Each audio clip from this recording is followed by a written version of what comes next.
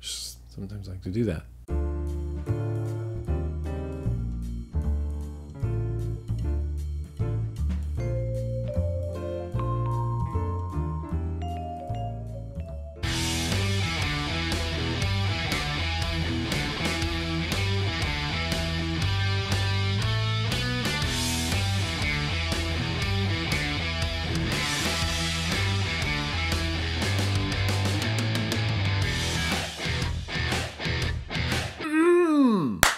Right. Well, what's up, everybody? Hello and welcome. Nope, that's not. I've never said what's up, everybody. What I usually say is hello and welcome, welcome and hello. Today is Thursday, you guys, which means that it is vlog day. And yeah, I got a vlog. I got a vlog all planned out for you guys. I think we have all of the segments this week. I'm going to do that thing right now where I put all of the timestamps here so you can see what's here what's included, what might be coming up. I do have a beer in the fridge getting chilled, ready to ready to consume a beer tasting. We're going to have some vape mail, not a crazy amount of vape mail, but some vape mail including one thing that I'm actually pretty really excited about. I I, I saw the packaging. I saw the packaging on the outside and I went, Whew all right, I can't wait for vape mail stuff, but we're going to do uh, viewer mails as well. I'm going to get some text messages as well from Eric Vinyl and Vapor. We're going to have favorite comments of the week. We're going to have a very random juice tasting. I've got a retro vaping prepared, and I even have a Grimm Green reviews a vape thing that he's never even tried before segment as well. So welcome.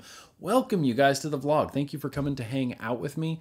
Love the vlog. Just love the vlog and I love it when everybody comes and hangs out and we can all we can all we can all vlog together. But before we get too far into this vlog, I do want to do that thing that is my favorite thing to do where I hear from one of my subscribers. So once again, it is time to hear from Justin Bacon.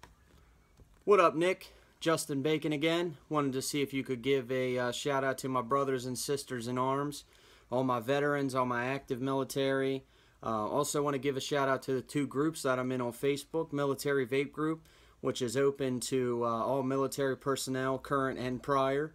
Um, uh, shout out to uh, Frankie Estrada. He's the founder of that group. You know, he really looks out for us, takes good care of us. Um, also, Squid Vapor Group, which is open to any users or fans of uh, Squid Industries products. And I want to give a shout out to the CEO of Squid Industries, who's also the founder of that group, Eric Buss. He is also uh, a veteran himself. Um, and I want to give a shout out to those two guys in particular, Frankie and Eric, because they hooked me up with this beautiful double barrel V2. So without them, I would not have this, and I love it. It's my favorite mod. So big thanks, big shout out to them. Um, and of course, you know, as a veteran, I got love for the military and and all the guys in those groups you know i mean it, it it's just great. They're great. Um, so if you could squeeze in you know a shout out uh, for them i'd really appreciate it. Thanks brother. I'm out. Peace. Yeah, fuck yeah, absolutely, Justin Bacon. First of all, shout out to Justin Bacon. And of course, of course, everybody, military, you are absolutely always, always shouted out. Thank you for your service. And then we're going to shout out Frankie and Eric Buss. Eric, uh, I know Eric. I've I've talked to Eric on on many occasions. He's he's always been nothing but a genuine dude to me. Eric is legit. He's the real deal. Shout out to the Squid Industries group on Facebook. I'm a member of that group as well. I see the notifications all the time, and I'm happy to support Squid Industries as well as Eric. And they are absolutely all shouted out, Justin Bacon. Absolutely. Really good, really good shout out request, man. If anybody else out there has any videos similar to Justin Bacon's video that you'd like to send in and see featured on the show, you want to shout yourself out, you want to shout your shop out, you want to just shoot the shit, tell your story, talk about your setup, totally cool. Send it on over to nick at grimmgreen.com and just, you know, just mark it that one favorite thing, that one thing that you do. I, I say this every freaking week, I think that's never been established. That one thing is kind of like the established thing. Like, just put that one thing in the subject chances are I'll see the attachment and it will get watched and downloaded accordingly. I've got a big folder of these videos, but I could always, always use some more. So yeah, sure. If you want to, I mean, everybody has access to a smartphone these days, I feel like. So just shoot a little video, uh, landscape if you can, not necessarily portrait, but landscape tends to work a lot better. Portrait, it's okay. Portrait videos are fine. Just if you can remember, if you're like, oh hey, I'm gonna I'm gonna shoot a quick video, send it on over to Grimm Green. Just boom, just turn your cam just turn your phone sideways awesome awesome justin bacon awesome um, right now i would like to talk about just the things that i have va- been vaping and it's a lot i just keep setting this is my plot in life i'm just i just have a lot of vape stuff. I have a lot of vape stuff and believe me when i say i'm not bragging here. I have a lot of vape stuff.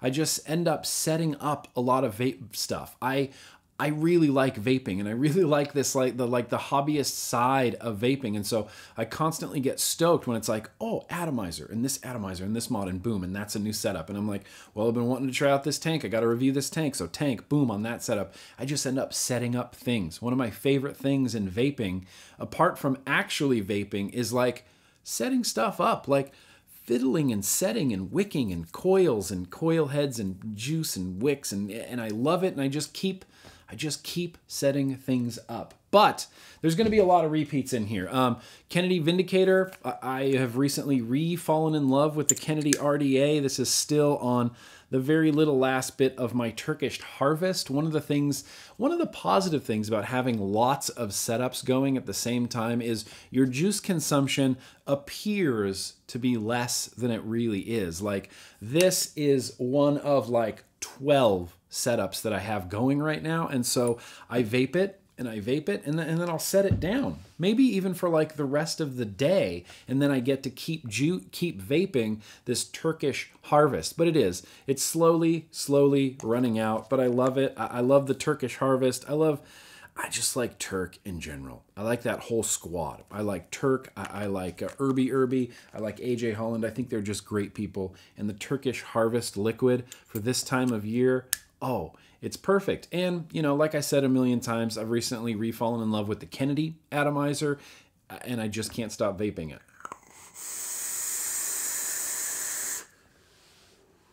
Such a good atomizer, such a good vape. Uh, I, I just I just really like that vape. Also, that uh, Reload Vapor Squonker still hanging in there with the Profile RDA, Profile Mesh RDA that is just a rad little banger. I think I'm going to have a review for this uh, either this Friday or or maybe we'll just roll it into next week. I'm not really sure. Haven't decided. It's loaded up with the Fug, the Lowrider juice that I love so much.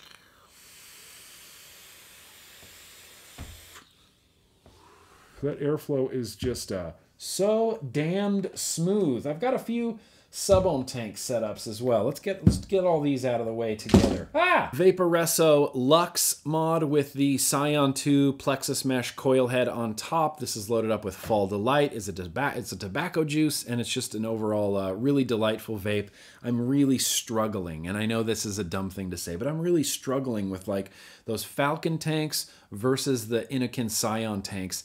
I keep liking one more than the other on different occasions. Like last night is a perfect example. I was sitting in my chair and I was watching reruns of Ink Master. Yeah, I dove back into Ink Master season two for some reason, just marathon watching it. And I was sitting there out there and I had my Scion 2 with the Plexus Mesh coil heads and I'm vaping it and I'm like, no, these coil heads are, are awesome. These coil heads are like my favorite coil heads, right?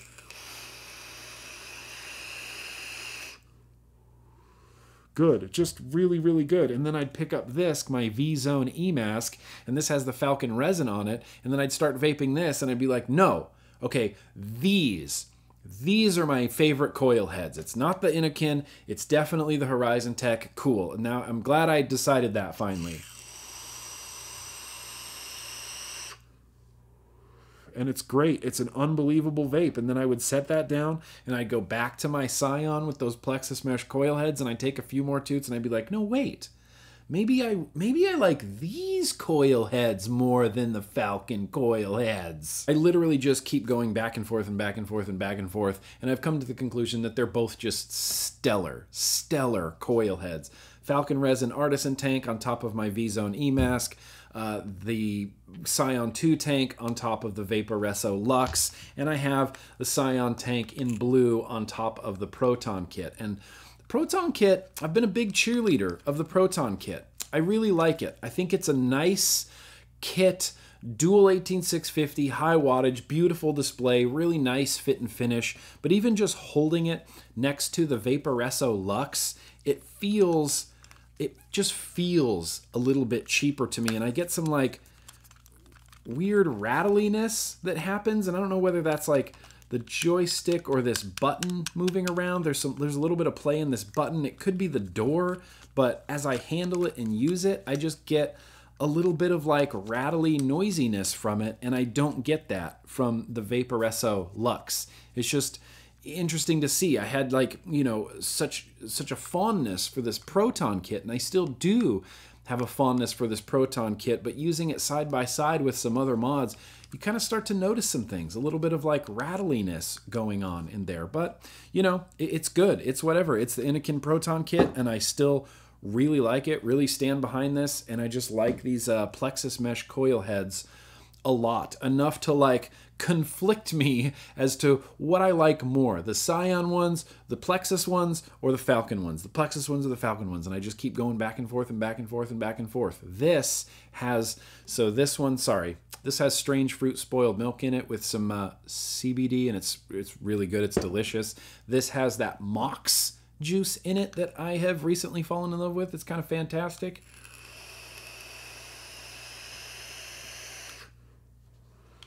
So good. So good. It's nice having some good coil heads. And then I've got this Mad Advken Manta sub-ohm tank on here as well, on top of that uh, Asmodus EOS 2 mod that had the really jumpy around, you know, resistance on it when I first got it out and was fiddling around with it. It kind of seems to have gone away like magically, I guess. Everything I've been putting on here has been reading the resistance like perfectly every single time, no jumping around. I don't know. God, what did I have on there before? Was it the velocity? What did I have on here before where the resistance was jumping around?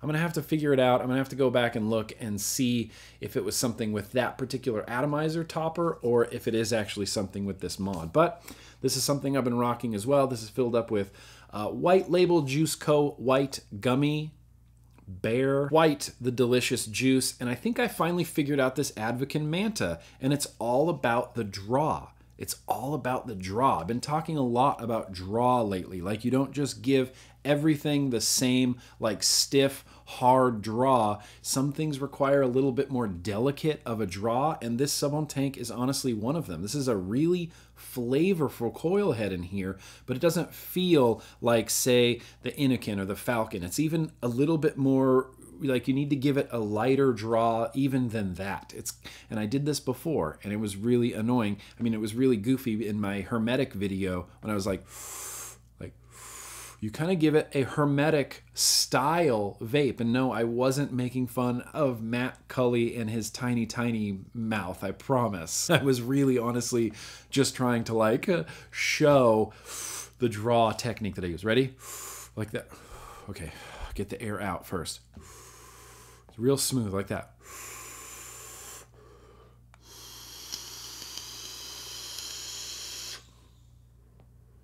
And it's delicious and you get a nice delicious like saturated feeling vape when you do that kind of draw it doesn't have that sudden like verge of going dry feeling to it anyway that's something that i have been vaping uh, and the other day on the instagram patreon live stream i don't remember who it was it might have been Pizza Beard. Oh, I'm not really sure who it was. Um, was talking about the reload RTA and how uh, it was leaking on them, or they would see juice in certain areas. And I was like, no, I've never really had that problem. So we came inside and we just built and set up the Reload Vapor RTA, and I genuinely forgot how much I love this RTA. The Reload RTA, in my opinion, is like the gold standard of RTAs. It makes me excited to try that stacked RDA that Tony B recently released. I still haven't tried the Mike Vapes RTA, and I still haven't tried the Dead Rabbit Heathen RTA either. I need to try all of these RTAs because after using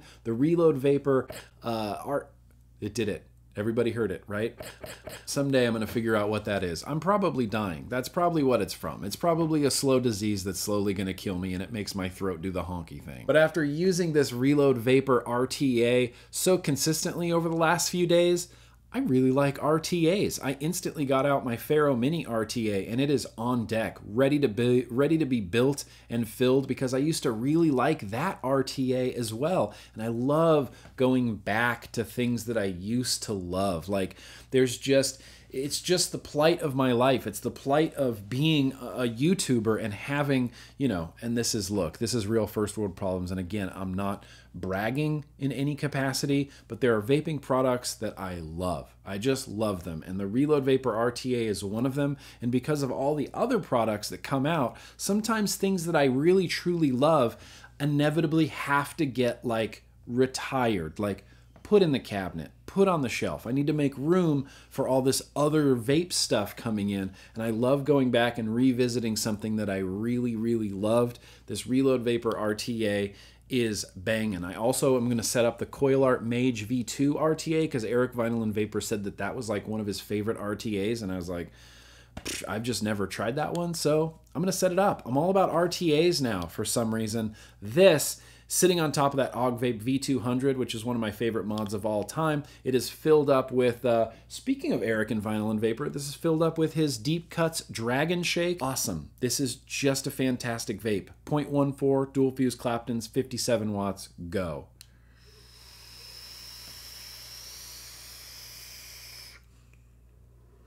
And it's got very much that like smooth, you know, uh, sort of like slightly restricted lung hit, but you just need to drag on it a little bit softer, and it's got that really smooth airflow. It's real easy to wick. I just like this RTA. Still really like this RTA. I do have uh, a singular, no, two. I got two pod systems that have been going. The uh, I don't know if I would really call this a pod system. Lost Vape, Orion, right? It's amazing. Filled up with Strawberry Circus 12 milligram, 50 50 PGVG. Dig it, dig it a lot. Took this with me to uh, Knott's Berry Farm. James and I went to Knott's Berry Farm and I vaped this the whole day.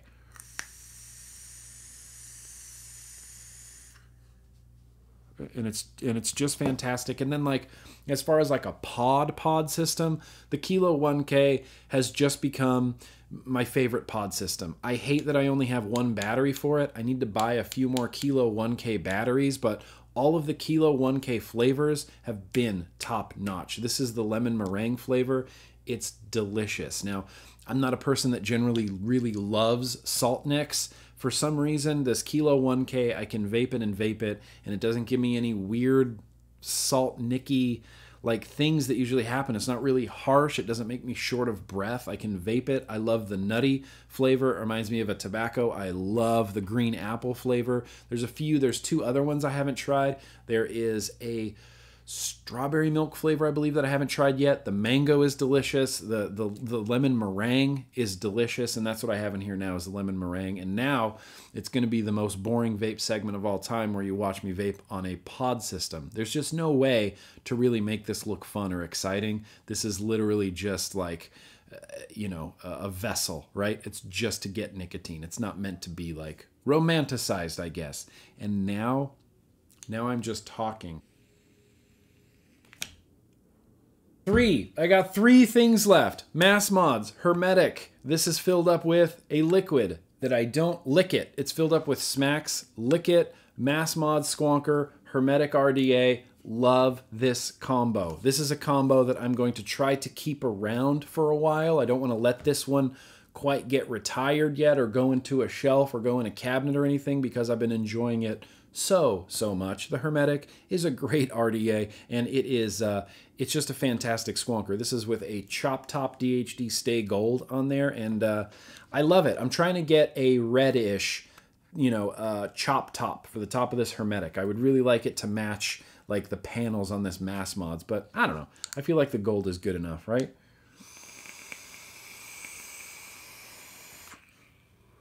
Yeah, it's that slow drag. It's that slow restricted drag. Still, still heavily hanging in there as well with that Mike Vapes recurve squonker. All drama aside, I really like this squonker. It's loaded up with Rocket Blast. It's got the goat on top, if anybody's curious, yeah, that's the goat. That's all I can show you of the goat at this particular time and place, but that is the goat. Listen to how crackly this is.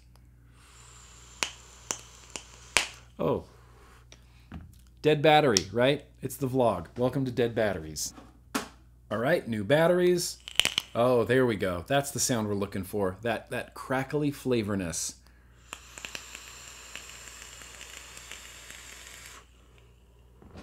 Awesome. Awesome. More about the goat later on. Obviously, when we eventually release the goat, I'll do like a goat video, but right now we're just, you know, building the hype train, I guess. And lastly, but certainly not leastly, just the daily banger of all daily bangers, it's that Aspen Modco Monarch. This one is named Fjord, and I've got it topped right now with the Reload Vapor X RDA, and this has been the topper on this mod for quite a while now. This is my Pony on Acid CBD mix that I love, I love, I love, and I just vape it so, so much. I'm thinking about mixing this up. I'm thinking about putting a new RDA on top of this Monarch. I love the Reload Vapor X, but I think I think I've run my course right now with the Reload Vapor X, so I'm looking for a new atomizer to put uh, on top of this, and I think I might have one in my vape mail. I think that's where this atomizer that I'm really excited about that we haven't opened yet, I think that's where this is going to live.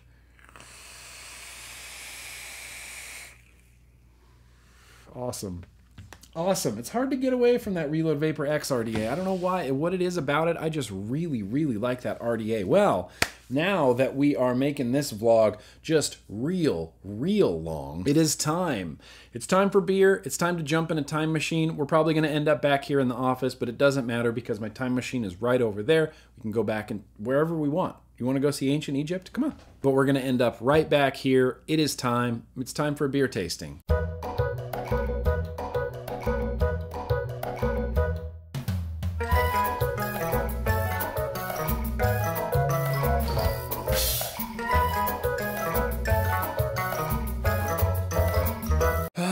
Well, how was the trip in your time machine? It's uh, a little bit disorienting at first, I guess. I don't know what I'm talking about. That made no sense. Uh, Beecher, Beecher Howard's texting Be- Coil Turd. That was Coil Turd texting me during the beer segment. Doesn't he know better than to do that? Anyway, we got a beer. We got a beer we're gonna taste. This is Wachusett Brewery Blueberry. It's literally just called Blueberry, New England's favorite blueberry ale. This came from the. Uh, you know, uh, goddess, goddess elixirs. His name was his name was Andrew or Anthony, something with an A.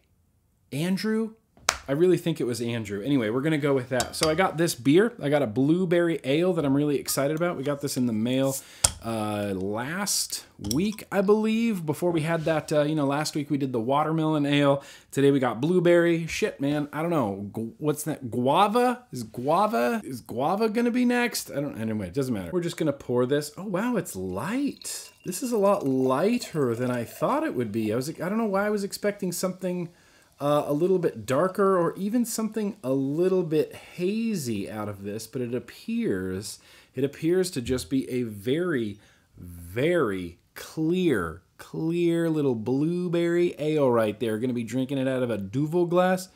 Can you see me behind it? No? All right. I know literally nothing about this juice. Zero. Less than zero about this juice, and I'm not even going to look at any juice. Beer. What? Been a long day. I know nothing about this beer, and I'm not even gonna actually gonna look at it until I already taste it. So we're gonna jump into it right now. Wachusett's Blueberry. Cheers. Here's to you guys. All right. I mean, I get a little bit of blueberry out of that. I do get, and it's a, it's a, it's not a. Okay. Thoughts then talk. The blueberry that I get out of this isn't necessarily like a like a blueberry slushy type of thing. Like that's you know being a vapor and being in the vape world, that's something that you come to expect. It's like blueberry. It's probably going to taste like a blue raz, like a blue raz slushy, something like that. The blueberry in this is a very natural, natural blueberry. It's like they took the pulp of a real blueberry and somehow intertwined it and got it into this beer. Otherwise, it's a real nice, sort of light, crisp, clean ale style beer. Yeah, that blueberry is real nice. That blueberry is right up front and it's very clean. It's not like a weird cloying sweet like weird blueberry flavor. It's it's honestly really refreshing. I'm surprised at how much blueberry i get out of it because sometimes you know you try beers and it's like it's got uh, this this and this like x y and z and you kind of go oh all right i don't i don't really get those honey notes or i don't really get those you know other berry notes or anything like that. This blueberry is like a perfect fit for this beer and it, and i know i describe e-liquids this way but this beer is a very cohesive flavor. It tastes like blueberry ale. It's not like, oh, it tastes like beer, and then, oh, on the aftertaste, I get some blueberry. No, from start to finish, as soon as it hits your tongue, it's like blueberry ale. And that's what it tastes like. It's delicious.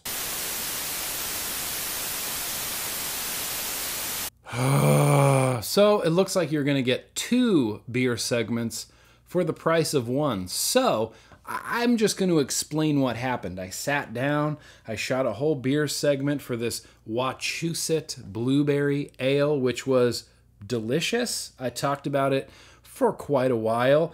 Did some beer, did some beer pairings with with vape stuff, and uh, I drank it. And I drank this whole beer, and I ended the beer segment, and I was like, fuck, that was a good beer. I'm so happy with the way that beer segment went. And then I look at my camera and it says unable to record. And I went, what? And so I looked, my memory card was full and it stopped recording after four minutes. And what's great about all of the stuff that's packed into these new DSLR cameras, it still doesn't like beep or fucking warn you that it stopped recording. So so we're gonna do this again. So we're gonna dig into this guy right here, Belching Beaver Brewery. This is a this is a beer that came to me via Smacks. They sent a beer care package. Belching Beaver Brewery is a San Diego-based brewery. I have been to the brewery. I've been to the tasting room. They have a lot of really great beers, and this peanut butter milk stout is one of their most.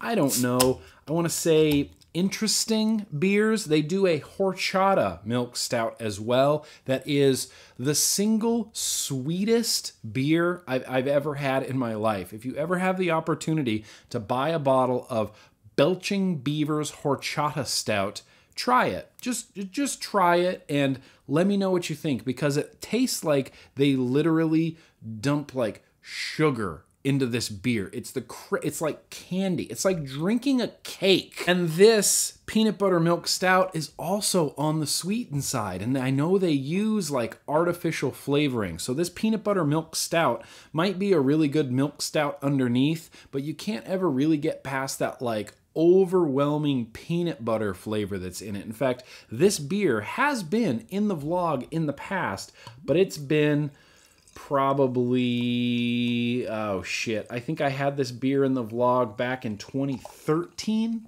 maybe maybe 2013 maybe like late 2012 i want to say. It's been forever since i've had this particular beer. So uh, i'm gonna get this to pair with it. I'm gonna get this to pair with it. I'm gonna that's it. That's all I can do. Yeah, that's all. It's just two tobaccos. Before, see, I had this whole big thing about pairing with that blueberry, you know, that, that blueberry ale and how the sweet flavors of the liquids kind of overpower like the really subtle blueberry flavor that's in there. And for anybody curious, this Wachusett's blueberry ale is like one of the best beers I've ever had. It's just delicious from top to bottom. It's got this really clean, crisp, like American wheat ale style beer with these really delicate, fresh blueberry notes in it. it it's kind of incredible. But you wouldn't know that because my camera didn't record anything I was saying. And the, after that, after after I'm like, great, so next up is viewer mail. Like after I end the segment and I look at my camera and I see that it wasn't recording, I feel the most foolish that I've ever felt because I literally sat here and recorded an entire segment to the camera that wasn't even recording. Do you know how weird and like defeated you feel after that? You're like, oh, well, I'm an idiot. So, first things first, let's have our first little swig of this Belching Beaver peanut butter milk stout. As you can see, it's dark. It's dark and it looks like freaking motor oil. Cheers! Here's to you guys. Yeah. Okay, and this is uh this is a beer that's on the completely other end of the spectrum than the one I just had. The other one I just had was like fresh, delicate blueberries in a nice, like crisp, crispy, clean wheat ale. This is like a stout. It is syrupy. It is not carbonated or effervescent in any way. It's really like syrupy. It's really a thick, syrupy stout that's like drinking peanut butter with beer mixed in it. Which is to say, it's actually really good. And look, if you're a fan of peanut butter and you're like, I need peanut butter. I'm like, I'm a huge fan of peanut butter. I need peanut butter like in my daily life. If I go one day without eating peanut butter, then that day is not a good day. Like I love peanut butter. I eat peanut butter constantly. It's it's my lifeblood. Like most people are like ranch, you know, ranch dressing. That's that's something that, you know, that's my jam, right? Some people are like hot sauce. No, hot sauce. I have hot sauce on everything. Put hot sauce on my life. No, peanut butter put peanut butter on my life and and I, then that will be a happy life so as a big peanut butter fan this beer is fucking delicious and i can tell i can really tell i mean obviously they're not gonna brew beer with like like natural peanut butter or like in the casks or I mean that's ridiculous, right? So of course it's like an added flavoring. Of course it's like this artificial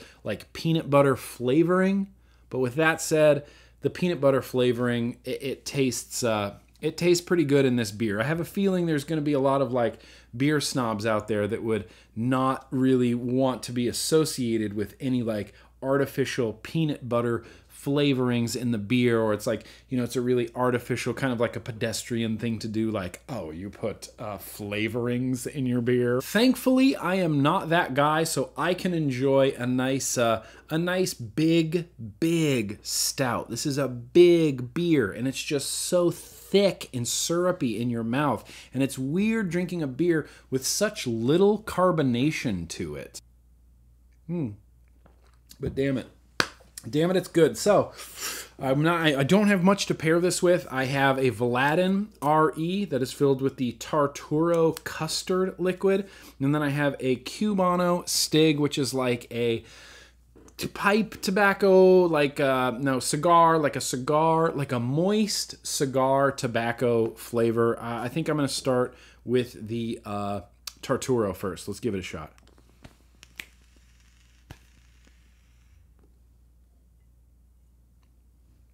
Yeah, sure. That's fine. You know what?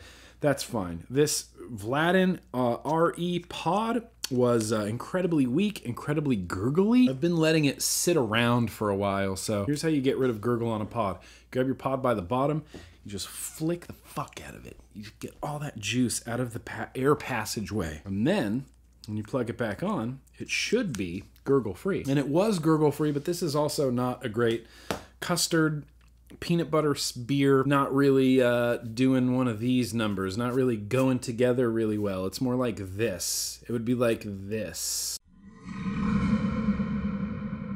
So the next thing I want to try, I guess, is the Cubano VGOD Stig. Cheers.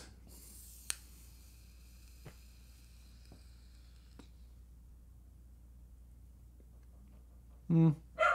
Okay, that's good. That's actually really very good. It's like drinking it's like drinking a beer like a stout with like a cigar. Like they pair so well together. The flavors complement each other so well. Good. Wow, okay. That's good. That's good. That's not a bad little beer pairing. Let's look over on uh, Beer Advocate. I'd like to find a little bit more about this this uh, this particular beer because I haven't looked at it in a while. Belching Belching Beaver Peanut Butter Stout. Beer Advocate rates it as a 4. Point... so many burps. so many burps and weird gases. Like I'm a weird burpy gassy person anyway, which is you know it's just something I've had to live with. But when you drink beer or something carbonated and you're trying to talk, it just it comes out everywhere. I'll just burp out of my fucking ears. Peanut butter milk stout, 4.1 out of 5 stars. Let's see. The stout pours a dark brown that settles into a motor oil black with a small silky half inch finger tan head, leaving a thin veil over the glass. No surprise, it smells like roasted peanut butter with a hint of dark chocolate. Taste follows the nose on this stout, well rounded roasted peanut and chocolate flavor with a light coffee taste obtained by the milky sweetness. Overall, it's a nice stout, a bit watery, not much viscosity, but still drinks smooth. I would say that.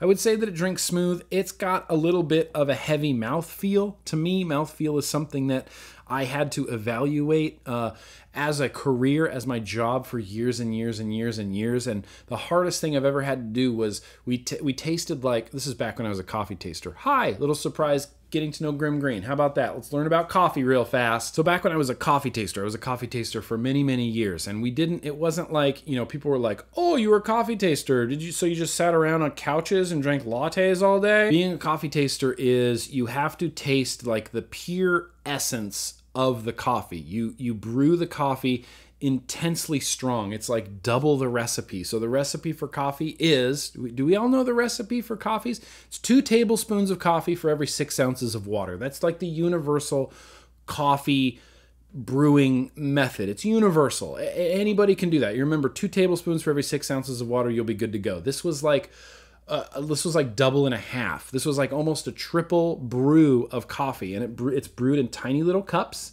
and the coffee grounds are at the bottom, and you have a slurpable amount of coffee on the top that you slurp with a spoon and spit into giant spittoons on the ground. Right? That's being a coffee taster. Me and my boss Doug, we were coffee tasters, and we tasted all of the coffee that came into that particular Starbucks roasting plant. I don't want to, you know, sit here and like explain the whole supply chain operation of how Starbucks works, but needless to say, it was a lot of coffee. I mean, we were tasting hundreds and hundreds of cups every single day. And one of the exercises that we did uh, on one particular day was we just evaluated mouthfeel. So there's so many different flavor components that happen inside beverages or beer or, or you know, mixed drinks or coffee or whatever that you kind of have to pick out. You got to pick out the sweetness, you got to pick out the finish, you got to pick out this, that, and the other. Are there any flavor defects? Is it acrid? Is it musty? Is it phenol? Is it all these things? And then what you have to do is evaluate the mouth feel. Like, how does the liquid feel in your mouth. To me, this particular beer has a pretty a fairly heavy mouth feel. If this was a coffee, it would be like an Indonesian coffee, like a Sulawesi or like a Sumatra, that type of like heavier mouth feel. Yeah, it's got a real heavy mouth feel, real lingering, lingering aftertaste. You taste the stout, you taste the peanut butter, even when you're done drinking it. I, I like this beer and that might eh, you know and that's it's whatever this i don't think this is like a world renowned beer like i don't think there's people on waiting lists to get this beer it's not like a vanilla bean dark lord from three floyds or something like that like people aren't lining up to get this beer it's not at the top of anybody's like i must i have to try this it's like pliny the elder heady topper and then you know peanut butter milk stout from belching beaver brewery but fuck it. I don't care. It's a really good beer. I really like it. If you have the chance, honestly, to try any of the Belching Beaver stuff, the, the horchata, try it. It's crazy sweet, like sugary sweet. And the peanut butter milk stout, it's a milk stout that's very, very very, very peanut buttery. Anyway, I'm gonna sit here, I'm gonna edit some video, and I'm gonna enjoy the rest of my evening with this beer. Belching Beaver Peanut Butter Milk Stout. Pretty freaking delicious, if I do say so myself. So, what we're gonna do right now is we're gonna get back in the time machine. We're gonna go back to earlier this day, and it's time to open some vape mail.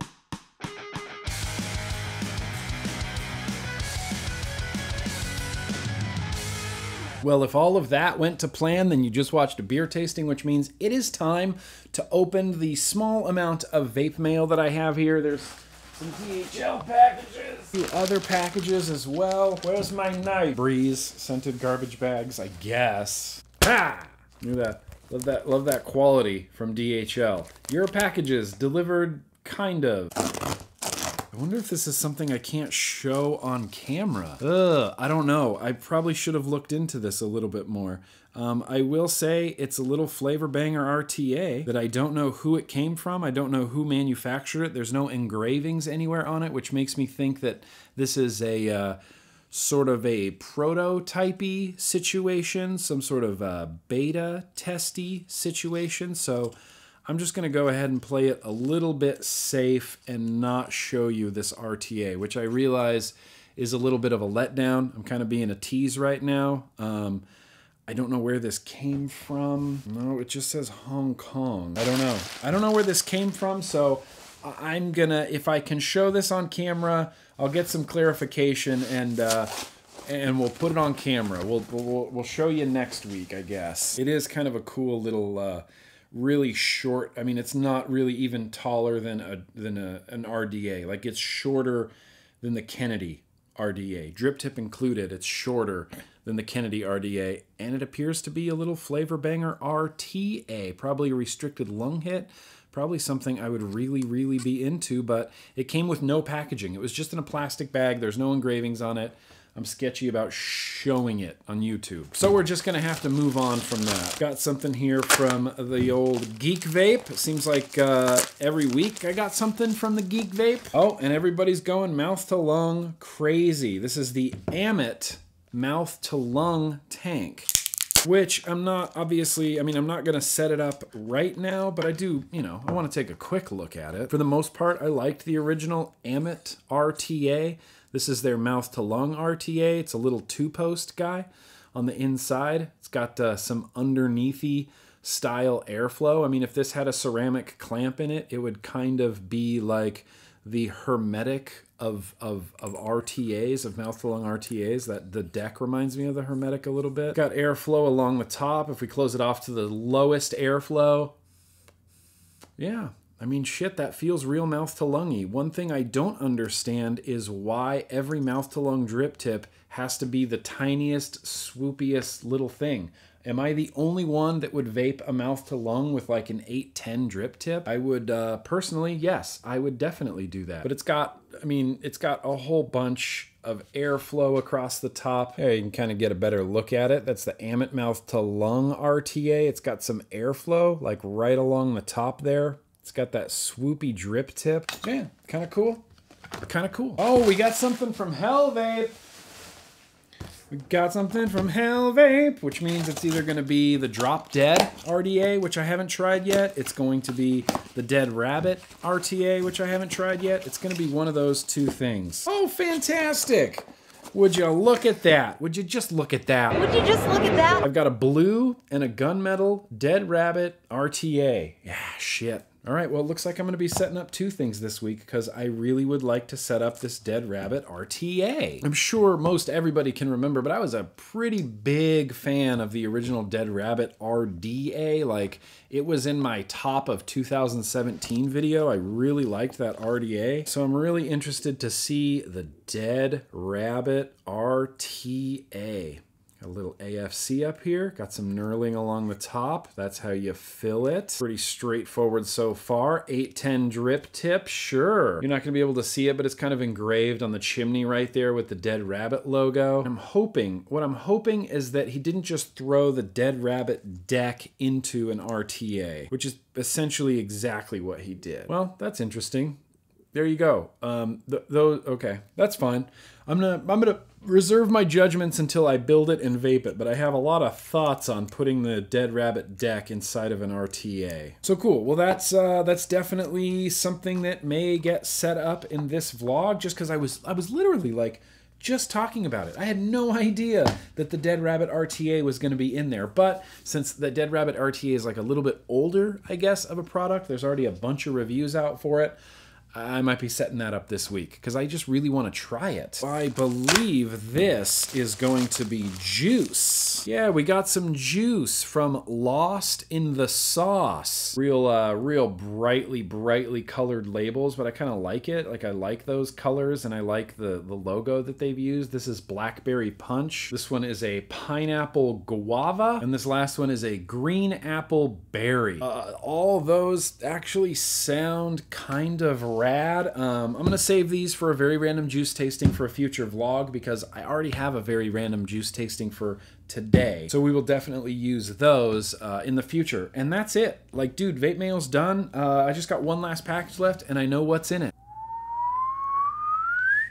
Yeah, this is definitely, definitely going to be the new Goon 25 millimeter. Are you kidding me? Yeah, dude, Goon 25 millimeter Goon. So this isn't like the Goon V2. This isn't like the Goon V3. This isn't a new version of the Goon. This is a 25 millimeter version of the Goon. Yeah, and it's a big boy. It's 25 millimeters, man. Same as the Recoil Rebel. It's got a slick new logo on there. It's got that Goon airflow that's the dots, not the slot. It's got the dots airflow. It's got that Goon 1.5 deck in there as well. I cannot seem to get out. I think I think this is going to be the new atomizer that sits on top of my uh, Aspen Mod Co. Monarch Fjord mod. Oh yeah, 25 millimeter fits on there freaking perfectly. Oh, and the interior AFC is all Ultem. That is fascinating. It's got that goon fit and finish, man. Goons have always gone together real well. O-rings always hold real well. AFC always really smooth. I like it with two airflow holes open. Oh, yeah. Okay, all right. Well, I'm excited about this Goon 25 for sure. Oh, and they went with hex key screws on top. That's real interesting too. So I guess that is actually going to be the end of the vape mail segment. Um, just don't have a lot of uh, vape mail this week, but I do have two things to set up. So I'm gonna build this Goon, and we're gonna put some juice in it. Maybe I'll throw. Well, I don't want to try out a new juice. I'm, I'm definitely gonna use pony on acid. I'm gonna put pony on acid on this Goon because this Goon is going to now live on top of my my Aspen Mod Co Monarch. But while I'm cleaning this up and while I'm doing that, I'm also going to build out that dead rabbit. I just need to find a liquid for it. Might use that Mox juice, but I'm also going to build up that dead rabbit and then we are going to come back and talk about both of them. So now. So I got everything cleaned up. I got everything set up. The first thing I built was the Goon, Goon 25. Really excited about this. Uh, pardon me. I don't even know where that burp came from. I apologize. The Goon is one of those like iconic, legendary atomizers, in my opinion. It's like the Goon, the Kennedy, for me, the Recoil. Like those are my three like go-to favorite atomizers. If anybody asks me, well, what's your favorite atomizer? It's like, well, I like the Goon, I like the Kennedy, and I like the Recoil. Like those are my go-tos. And I think the Goon is one of those like really iconic things. There's I've, there's very few vapors that I've ever met or talked to that aren't aware of the goon or haven't. I mean, or themselves have tried the goon or goon owners. And the original goon was one of my favorite atomizers of all time, and I really liked the Goon 1.5. The Goon 25 millimeter has that like big clamp deck in it. They used hex key screws. It's got the same clamps as before. I installed a 0.11 M Turk Alien build in here it's exactly like building on a goon. It's one of those things like you just learn it and you never forget how to do it. It's, it's real easy to install, real easy to wick. That 25 millimeter diameter on the inside just gives you all sorts of room. I only installed uh, two and a half millimeter coils. M Turk always does his coils at two and a half millimeters, so that's what I installed in here real easy to build, real easy to wick. I loaded it up with Pony on acid. I have taken no toots from this yet, but I got my airflow lined up and I got my airflow turned down to two holes on that AFC. Like I said before, the AFC is a Ultem now on the inside. Ultem as opposed to stainless steel. I'm assuming that's going to help keep down the heat. A, I'm assuming that's going to help keep down the weight. B, it probably will help keep down the costs as well. But here we go. Pony on Acid CBD Goon 25, go. Yeah, and it's fucking awesome. It's flavorful, it's hot, it's it's plentiful, it feels real dense, real like just a big saturated vape. That's why I love drippers so much is because you control the liquid. So you can have it be as saturated or unsaturated if you want, you know, as you want it to be. The Goon has always been very very conducive to blaying your juice. You can just blay your juice through the middle of the goon like a champ. But I got this goon sitting on top of this beautiful Monarch from Aspen Mods Co. And I'm using little, uh, you know, stock black 810 drip tip. So it's time to find a better matchy matchy drip tip, I think. Oh, what colors are on here? It's wood, it's purple, it's orange. Maybe I'll just go tried and true. Maybe I'll just throw a Stay Gold nub on there. Yep, that's how it's gonna go. Stay Gold nub drip tip on top. Now, now it is a complete setup. Fuck, that's good. Fuck, that's good. Uh, love. Love it. I'm loving it. I don't regret this decision at all. This is where this atomizer is just going to live from now on for like the rest of its life.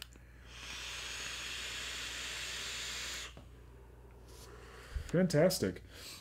That's fantastic vape. So, Goon 25, it's the Goon. So it's not it's there's nothing new going on. It's the Goon, it's the most recent greatest, best, up to date version of the Goon. It happens to be 25 millimeters as well. And it's the Goon, man. It's if you're a vapor, if you're a serious vapor and you've never tried a Goon and you've never owned a Goon, like what are you doing, man? Get a Goon. They are legendary atomizers and they're just fantastic. Okay, I'm to stop stop gushing about the goon because I want to focus my attention right now on this here dead rabbit, which, all right, let's try to find a dead rabbit drip tip as well. Don't really like the red on there, so maybe we'll just go with uh, straight black. Oh, there we go. I found a red chop top for that hermetic. Uh, how cool is that? I didn't know I didn't know I had one, but that looks pretty dope. I'm gonna need to wrap this up. I really got nothing that's gonna go on here. I can't find any of my like uh, dock tips, like my knurled drip tips. All right, fine. Well, there you go. It's just black. It's like a black and speckly white guy. Sure, we'll just put it on there. Three and a half volts. Sure. Uh, this is a 0.14, three and a half volts. It was really exploding vapor, and the Dead Rabbit deck. Look, the Dead Rabbit deck is real easy to build on. You just pre-clip your leads, roughly pre-clip your leads. You can drop them in, crank down the screws, finish trimming up your leads if you want to. Real easy to install, real easy to get them glowing real evenly. Now, the comment I made earlier about throwing the Dead Rabbit deck inside of an RTA, I wouldn't have done that. I would have done it a little bit differently. I still would have kept that Dead Rabbit deck, except I would have just low. I don't know why everybody likes their coils so high up in the air. Lower it, lower it all down. Your, you know, your wicks are going to be closer to your juice flow, so your juice has less distance to travel. As it stands, the Dead Rabbit RTA has a deck that's real high. You have to leave your wicks real long and tuck them way down into these little juice wells down at the bottom. We could have just eliminated that, lowered those posts, made it like a postless deck design. You can still have the dead rabbit idea. You know, you can still have the coil kind of spit out the side so you can trim it easier. You can still keep the spirit of the dead rabbit without actually visually having to see like, okay, yeah, that's clearly a dead rabbit deck inside of this RTA. And even though this is the dead rabbit RTA and there's a dead rabbit deck inside of the RTA. I don't think the Dead Rabbit deck is the most useful deck for RTAs just because, like I said, your coils are way up there. They're way up here in this chamber, and your wicks have a long distance to travel, and that juice has a long distance to travel back up feel like with the, you know without running the risk of repeating myself I would have liked to have seen those the, the, the deck just much lower. Just lower that deck down. You'd have you'd still have plenty of room in there. You'd still have your wicks to be able to go into the juice holes, except now it's going to have less distance to travel, and I think it would wick much more efficiently. Now, with all that said, I still have not taken one single toot on this, so let's do that now. I'm just going to open up the airflow all the way. It's a 0.14, 3.5 volts on the Vaporesso Luxe, filled up with the Mox juice. So let's give it a shot here. really very very very super super super airy i'm just going to close this airflow down about halfway and give it another shot so much better. So much better. And again i don't know what it is. Maybe i'm uh, maybe i'm just getting old. Maybe it's just an age thing. I really like more restricted lung hits. I don't like that huge huge airy cloud chasey clouds bro clouds. Like i get it that you need a lot of airflow when you have a really hot hot build. You need the airflow to kind of keep the temperature down a little bit on there. But when you have something like this that's like an rta that is like a flavor rta you need that airflow down down down it's like it's literally like a flavor adjustment all the way open, I can feel the flavor go way down. Close it off a little bit, you can feel that flavor go way up. And after I took those two toots, it started that la the very end of that second drag, it started to feel like a little bit on the verge of going dry. That as well, very much on the verge of going dry trying to get some bubbles happening, trying to get some juice going in there. I only used two and a half millimeter coils, so it's not packed with cotton in there. I left my cotton, you know, uh, very thin down there towards the bottom just to get that juice flowing, and it's got a long way to go to get up to your coils. Oh, yeah, there's a few bubbles happening. All right. Dry, dry. Like that was no juice in there. That was completely dry. And look, I could have wicked this incorrectly. There's only one way to wick it. You pull your wick down and you have to tuck it into this little chamber down there at the bottom. And I cut my wicks perfectly so that I could tuck them into that chamber. So down in that chamber, it's not stuffed with cotton. It's just the very tips of the cotton kind of just coming in contact with the juice inside your tank. I just think it's not keeping up because that deck is so high and so tall inside of an RTA. Nope, that one was real dry too. All right. Well, shit. Maybe I'll have to rebuild it. Maybe I'll have to rewick it. Uh, I'm get, I'm running into a lot, lot, lot of dry hits. I mean, you saw the pictures. I'll show you the picture of my wicking again. Does that look like just way too much cotton? Should I have used much less cotton? I don't feel like that's an overabundance of cotton in there. I feel like, for all intents and purposes, this should be wicking correctly. I'm going to turn the voltage down on it. Let's see if that helps at all. Let's go to 3.2 volts. Any bubbles happening? Some bubbles happening. Oh, there we go. That's a little bit better. Maybe it needs just a little bit less voltage. That feels a little bit better. That feels like it's a little bit more saturated with liquid. Sorry, I forgot to mention I used some staggered fuse coils in here. They came out to 0.12. Even at 3 volts, it's still right around 76 watts, which is, I don't know, pretty high for 0.12. I mean, not really. I mean, Here's the thing everything is different. You wouldn't run an RTA at the same wattage that you would run a dripper with different airflow and different wicking capabilities. You kind of have to adjust your wattage and voltage based on the product you're using. This RTA, the build I have in here right now, the wicking I have in here right now, it seems to really be doing well at around 3 volts. Nope. that one tasted super dry. All right, well, obviously, I'm going to need to spend a little bit more time with that there Dead Rabbit RTA uh, before I can, you know, really review it or really pass judgment on it. I, I, need to do some wicking experiments, evidently, as well. I'm still pretty convinced that the, the deck, it's that deck, it's that Dead Rabbit deck, because the wick is so long. The wick is so long that goes into your juice. I feel like it's just not, uh, I feel like it's just not keeping up well.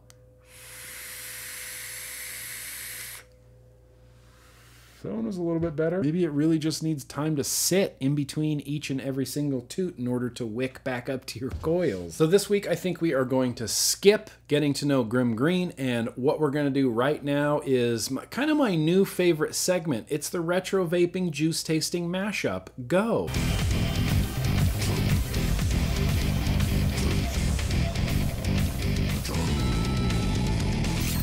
So, what I have this week is I need a mod. I need a mod to run this on. Just gonna grab my tried and true V-Zone E-Mask mod. So I have an atomizer. I have an atomizer today that we are going to retro vape. This is an atomizer from not that long ago, three years old maybe. I think I I think I remember this from the very first Vape Jam UK, which was in 2015, and I brought it with me and I vaped it there the whole time.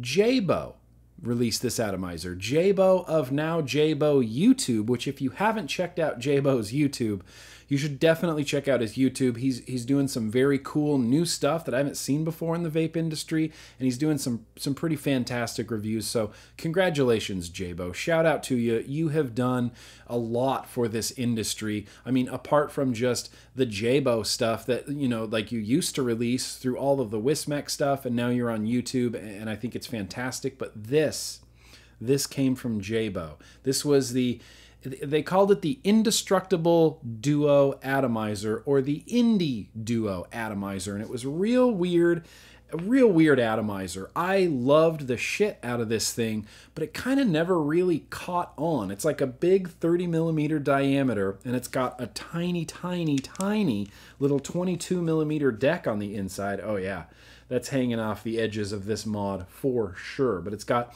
a tiny little 22 millimeter diameter deck on the inside with like a velocity style deck. You just slide your coils in, real easy to build, real easy to wick. Now I don't have the uh, drip tip, you know, top cap for this. I think I think I can use a DHD this, which if I can, which I can't, damn it. There was one DHD accessory that I could use on this indie duo. And if I don't find it, then I don't get to vape it. Because I'm not just going to tailpipe off of this gigantic opening. Oh. Oh, holy shit. Okay, well that might be the actual uh, drip tip. I might have just found the actual drip tip for the Indie Duo. Why was I keeping this around for so long? Somewhere in my desk, that is the actual drip tip for the Indie Duo. And it had top in airflow. And it was this weird, like, two chambered plastic top. Your airflow went in and then down on the exterior of it between the two panels of plastic and then up through the bottom like right at your coils. So that that is what I'm going to be retro vaping today and what we're going to be retro vaping out of it is a juice from last week. Last week I got a box of Lioness elixirs. This is the Courage, which I believe is the pistachio cheesecake. Let me double check that flavor profile. Yes, Courage is a creamy pistachio cheesecake and a graham cracker crust with a light raspberry drizzle to top it all off. So that's the juice we're gonna be tasting. So first things first, real quick, let's just do a knuckle test. Okay, um, real weird. I mean, right out of the gate, real weird, real bizarre. I hope that it vapes different than this. I had never had like a really good pistachio vape before, and so it's kind of a flavor profile I'm on the lookout for because I like things like, you know, pistachio pudding and things like this. This is a pistachio cheesecake with raspberry.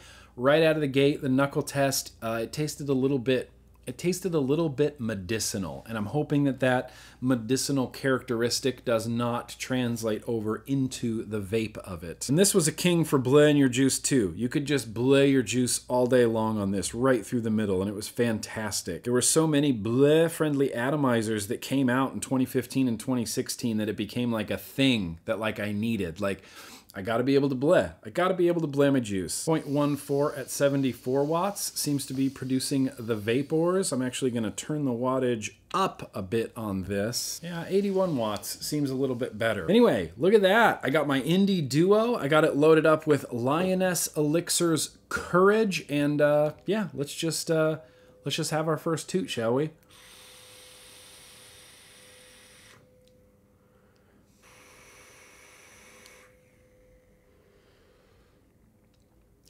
Okay, that juice is real weird. So what I'm gonna do now is what I do every juice tasting segment. I'm gonna sit back with this just for a second. Uh, I'm gonna vape it and then we'll come back and talk about it.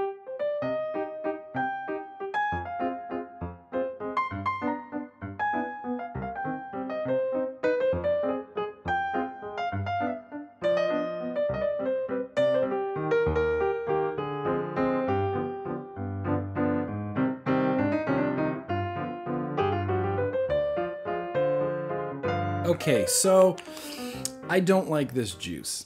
I'm sorry, Lioness Elixirs. Maybe we'll try another one later on, but this Courage is not doing it for me in any capacity. The pistachio is real weird and earthy. It's got like a, like a potting soil sort of like a, a aroma and vapor flavor to it. The cheesecake component, I, am not getting a lot of cheesecake. I can't really get past that like uh, medicinal flavor. It does have, I don't know what raspberry is in this, but that raspberry to me has a very medicinal flavor to it. And the medicinal potting soil did the honky thing again, but that medicinal oh, that medicinal potting soil, like weird, weird flavor. It's just, uh, it's just real bizarre.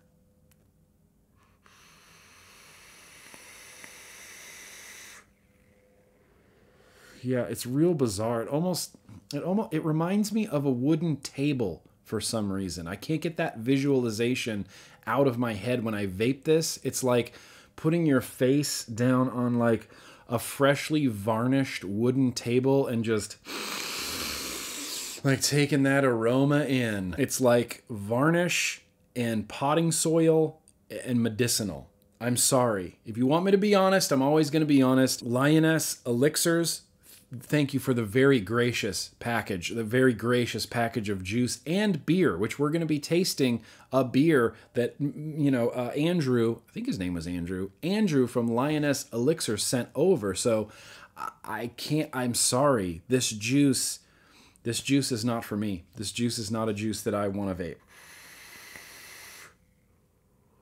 And, and to be fair to Lioness Elixirs, I did pick the weirdest flavor that they offer. The other ones, Passion, Pomegranate, Acai, that sounds much better. Defender, which is a peach lemonade, that sounds much better. And Ferocity, which is strawberry watermelon, that sounds much better. But I picked Courage, which was pistachio cheesecake. So I get it that I picked like the weird, wackiest, like off-ball flavor that they possibly do, but that's what's fascinating. That I mean, that's what drew my attention. Like that's what fascinated me. I was like, oh, I really want to try that courage.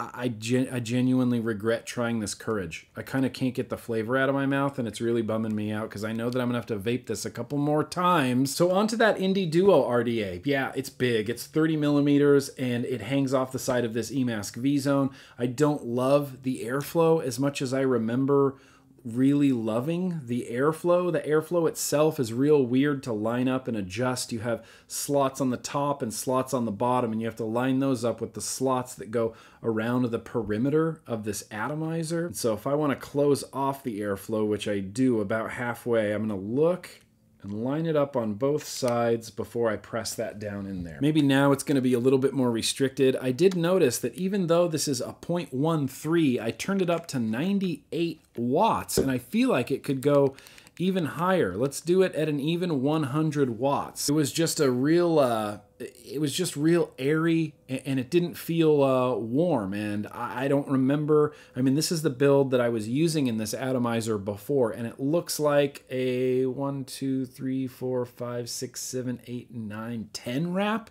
on here. So it's a real wide coil. There's a lot of mass and a lot of surface area to heat up. And so Maybe that's why I'm at 100 watts on a 0.13. If I had a 0.13 round wire build or a 0.13 fuse Clapton from from Turk, like that was less wraps that used utilized different wire in order to get to the resistance, I might not be rocking this at such a high wattage. I mean, 100 watts isn't really real high, you know, these days anymore, I guess, but uh, still still feels uh, pardon me, still feels pretty high to me. Let's give it another shot here.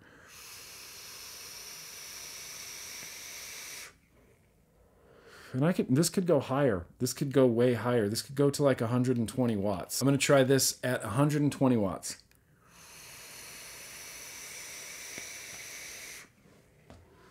That seems to be uh, kind of a little bit of a sweet spot for this particular build on this particular atomizer. One thing that I loved about the Indie Duo was, yeah, you got the ability to blow your juice, which is fantastic. I really liked like the two chamber design, like how you could see in between here. And I realized that I like that right up until you use it because as you use it, the warmth from the uh, coils, the warmth from the vapor, the warmth from your breath dragging the air through it, it just fogs that glass over in like 0.2 seconds. Like I originally was like, oh, it's so cool. You can see your build and you can see through the glass and you can see where the airflow goes. And that's just really super cool.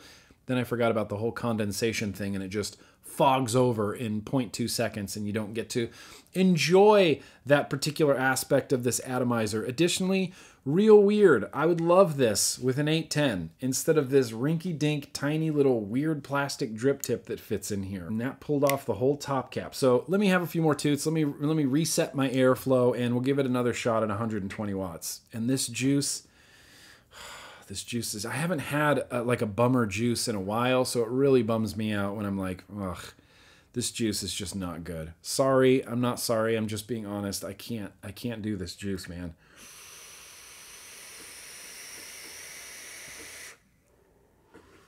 But a vape's fine. I mean, a vape's great. It's given me just as good a vape as, like I always say, like as anything on my desk. I mean, maybe not more than the Goon.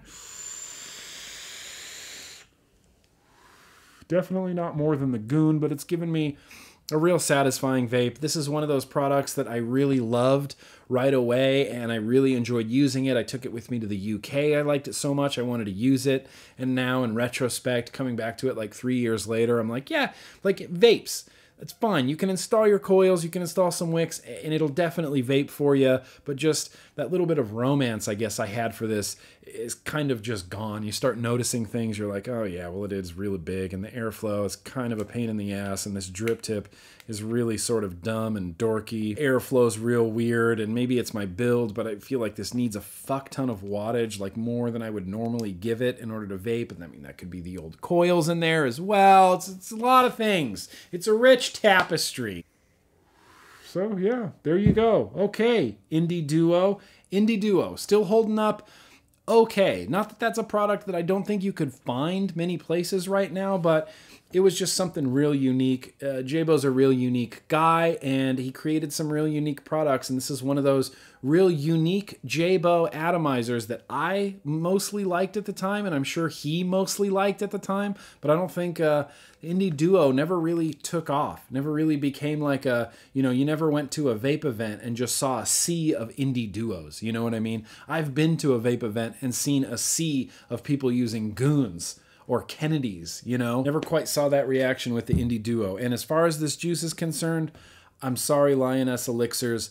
I personally just don't want to vape this juice uh, ever again. Ever again. But I will give you a chance at redemption. Maybe in a few weeks, we're going to grab out one of the other ones. Maybe we'll grab out Ferocity because strawberry watermelon just sounds. Uh, so much more delightful than pistachio cheesecake with raspberry medicine dribbled on top of it. So that I think is going to wrap up that for now. Uh, we're getting pretty late into the afternoon here, so what I'm gonna do is I'm gonna go eat lunch, but when we get back from lunch, which yes, is a Trader Joe's chicken Caesar salad. I cut up some Havarti dill in it. Oh, and it's it's just fantastic. Well, when we come back from lunchtime, what we're going to jump right into is some viewer mails.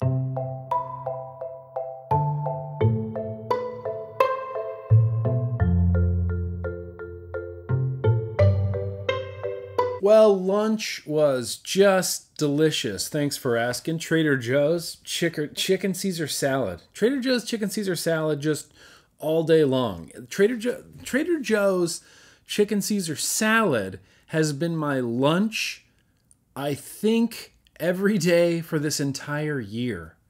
I and I don't know why that is. It's just a quick easy thing to eat that I really really like and uh seems to be okay for me. Like I haven't contracted any weird like, you know, lettuce, uh, you know, lettuce diseases. They did like a lettuce recall not too long ago, which look, was a little bit scary, but I powered through. I kept eating the chicken Caesar salad. So, anyway, that doesn't matter. What we're going to do right now is answer some freaking viewer mail. So, I got some viewer mail here.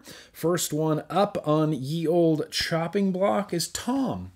Tom wrote to us and said, Hey Nick, I have a little question. I've been thinking about trying dripping. I think a single coil Addy would suit me best. I seem to like higher ohm builds. My question is, what makes a good dripper? I've heard you say you like to bleh, or however you spell it, your liquid right onto the coil. The whole paint your coil seems like a pain. Single coil addies seem to be designed that way. I'm just wondering, is it if that is it, or are there other things to look for or avoid, like airflow, deep wells, etc.? Thanks for all you do. I have about seven months with no smokes on your videos. Um, fantastic. Uh, help me guide through my vaping journey and let's keep on vaping. Please excuse my English A skills. Thanks, Tom. No, Tom, no worries. I got through that. I got through that no problem, and I'm a dyslexic person, so I have a real hard time reading fucking anything. So you're thinking about dripping. Well, that's a good decision. I, am a dripper. I like drippers. I personally like uh, like, like most dual coil drippers. Like like I said a, a thousand times probably in this blog already. I really like the Goon. I really like the Recoil, and I really like the Kennedy. The Kennedy you do have to pop and paint, but the Goon and the Recoil are very bleh your juice friendly. Twisted Messes 24 Pro series as well could honestly be a good option for you. So the Twisted Messes 24 Pro Series comes with a little Ultem insert for the deck that allows you to run it as a straight up like single coil deck. And it's great. I've ran it in single coil mode. I usually run it in dual coil mode, but the Twisted Messes tw- uh, 24 Pro series is very bleh, your juice friendly, and is also a real, real high, high, high quality atomizer. But if you're looking for something that's like legitimately single coil. There's uh, two right now that I really, really love. One of them is the Recurve RDA from Mike Vapes, which is it makes for a great dripper. It's it's he designed it, I believe, to be more of a squonker atomizer, but it works really well as a dripper, in my opinion. That Recurve is a dope dripper, single coil dripper. And honestly, that new Hermetic RDA from Suck My Mod. I just put up a review earlier this week. I think it's a fantastic single coil atomizer. I use it for squonking. I use it for dripping. Uh, i use it for both and it, when it works both ways real easy. So one of those two like if you're really after like a single coil dripper atomizer. Um, I, I think there was a single coil version of the dead rabbit that was like the squonker version of the dead rabbit but again that Dead Rabbit deck is it's much better as a dual coil dripper. Single coil dripper, it doesn't work out quite so well. Single coil squonker, it doesn't work out quite so well. And I feel like RTA, that Dead Rabbit deck, I don't know. It, I just don't think it works. Uh, I just don't think it works that well in that type of situation. But yeah, I mean, off the top of my head, that's what I can think of as the Hermetic and the Recurve in, in recent memory, like really good single coil atomizers out there. There are some single coil atomizers out there, like uh, the Hadley you know like the uh, you know the wasp nano might actually be a good one for you too it's something i've never tried but everyone i mean it's something i've been meaning to buy but literally everyone has it was only good things to say about the Wasp Nano RDA. Like I said, I've never tried one. I've been meaning to get one. I've never heard anyone say anything bad about the Wasp Nano RDA. You only hear the Wasp Nano brought up when it's like, fuck yeah, love that, love that atomizer, love the Wasp Nano. So that could be that could be an option for you um, as well there, Tom. No worries about your English A skills. They're they're just fine. I wouldn't have even noticed otherwise. And thank you so much, uh, Tom, for writing in that email. Got another one here. Oh, okay, we got a dog email. We got another dog email this week. Joe. Joe writes in and says, "Hi Nick, I'm Joe, or you can call me Four Eyes. Yes, it's a stage name. I'm a big fan of the vlog. I really enjoy looking forward to Thursdays. It's vlog day uh, because I get to unwind, de-stress, and watch a video about my favorite topic. Absolutely. Well, welcome. Welcome, Four Eyes, to the vlog. Good to have you. And since you like dogs so much, I thought you might like to take a look at my pooches, Piggy the blonde and Sky the gray one. Keep up the good work. I always watch to the end of the vlog, but instead of a hug or whatever, uh, I would love a manly handshake. Sure. I can accommodate. I can definitely accommodate half of that request. I will give you a handshake no questions asked. The manliness level of that handshake, uh, I don't know. We'll, we'll see where we land on that. Whenever I shake Dwayne's hand, he just crushes it into oblivion. So apparently, I don't give really manly, uh, manly, manly handshakes. But Four Eyes, yeah. Four Eyes has some dogs. Oh, yes, and I definitely saved the pictures. All right, suddenly, Piggy. Yeah. Oh my God, look at that pupper. Look at that pupper Piggy. And then suddenly, Sky. Yeah, look at Sky. Look at Sky being a vape model, posing next to that mod and tank right there. You could you could start an Instagram account of this dog being a vape model for for vapes. Um, not only would that be hilarious, I would definitely definitely follow that Instagram. Great looking puppers you got there, and thank you so much, Joe, for sending an email in and sharing your puppers with us.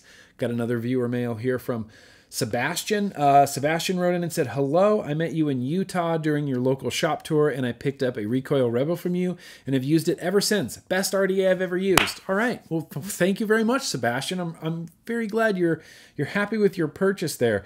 I was wondering a few things about coil placement. On the snakebite top cap, do you place the coils so that the air directly hits the coils or so that the air goes beneath the coil and up? Ah, good question. Thank you, Sebastian. Well, thank you, Sebastian. Um, so yeah, there's I when I use my recoil or my recoil rebel and I use the snakebite airflow, I always pull my coils up just a little bit. If you if you just install them and leave them where they are, the snakebite airflow is definitely going to hit your coils, but I find that I like it a little bit more. I get a little bit better of airflow and I get a little bit better of flavor if the coils are centered on the deck. First of all, center your coils and lift just lift them up just a little bit. What you want to do is you want the airflow hitting your coil and then underneath your coil, exactly like you said. When it's hitting the broad side of your coil and that airflow is angled down because of that, you know, that snake bite airflow, it's going to hit your coil and it's going to go zoop and right up into your mouth. It's going to be great. You're going to have a great vape experience. You're going to get some really good flavor out of that as well. Me personally, that's just how I do it. In fact, that's how I do it with kind of a lot of atomizers, I guess. If the air, uh, where's my goon? Oh, I left my goon in the living room, damn it. But it's the same thing even on the goon. Like uh, I put my coils in and I just raise them up just a little bit. I like the airflow to hit my coils, but I also like the airflow to go under the coils. It, it just it overall makes, in my opinion, for a uh, pretty stellar vape experience, Sebastian. Anyway, thank you so much, Sebastian. I'm glad you're enjoying that Rebel RDA. Got another viewer mail here from Jerobi. I don't. I'm definitely not saying his name correctly, uh, but he writes in and says, "Good morning and uh, after evening. Apply appropriately greeting. Apply apply appropriate greeting here. So we're gonna say, good afternoon, sir. Hey, Grimm. Quick, short, uppy, closey question for you. Uh, are you a Game of Thrones fan? If not, what's your problem? Just wondering if you and Pickles watch and are looking forward to the series wrapping up next year. Thanks for all you do. Uh, advocate and keep up the good work. P.S. I'm the same guy that sent you the extremely slow mo vid blowing vape and then asking for a shout out at the end. Not sure if you remember that but you put it in the beginning of the vlog last year. I was bored while in Houston getting slammed by Hurricane Harvey, and I thought I should send you a vid to pass the time.